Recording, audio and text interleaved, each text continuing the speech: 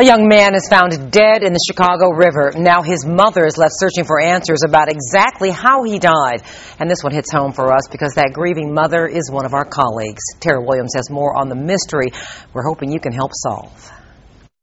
This surveillance video shows Jim Burfisher buying a few things at a downtown convenience store. Less than 48 hours later, his body was found by kayakers floating near Wells and Wacker in the Chicago River.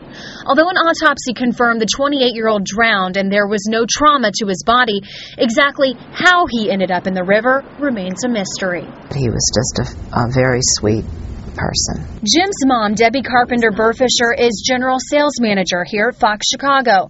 She says her son was looking for a new job. He was athletic, outgoing, had a great group of friends, and was not someone who would take his own life. Now we're looking for, for people who might have seen something. Although Chicago police are still investigating, Burfisher and her husband hired Andrew O'Conner, a private investigator.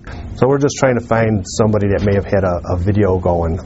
Using credit card records, O'Conner created a timeline of the last day the Burfishers saw their son, Thursday, June 10th. And we had dinner with him early mm-hmm. with his younger brother.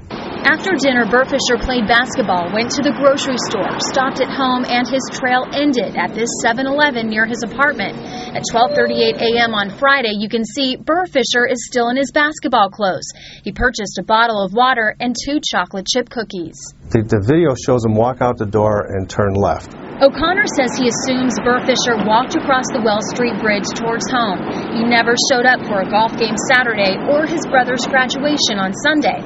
That's the day his mother got a call from Chicago police confirming the worst. As his mom, what does your gut tell you?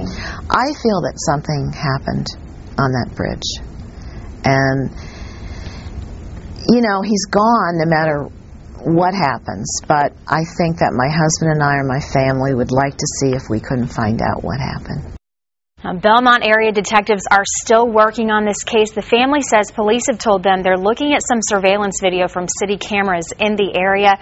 Toxicology results still haven't come in. Anyone who saw anything after Burfisher left that convenience store is asked to please call the Chicago police. Robin. And this happened a, a few weeks ago, and it seems like it went totally under the radar. You know, that was a very busy weekend in Chicago. The Blackhawks had just won the Stanley Cup, so there was a, a lot of news that weekend, and the family's actually hoping that that might help them in this case because there were so many people mm-hmm. downtown. Mm -hmm. The parade was that Sunday, so they're hoping that somebody who was down here for the celebration maybe saw something and can call police and help out with the case. That's true. We always talk about closure, and you know it's not they, perfect, and they need they need that absolutely. Thank you very much, Tera, and our best to the family.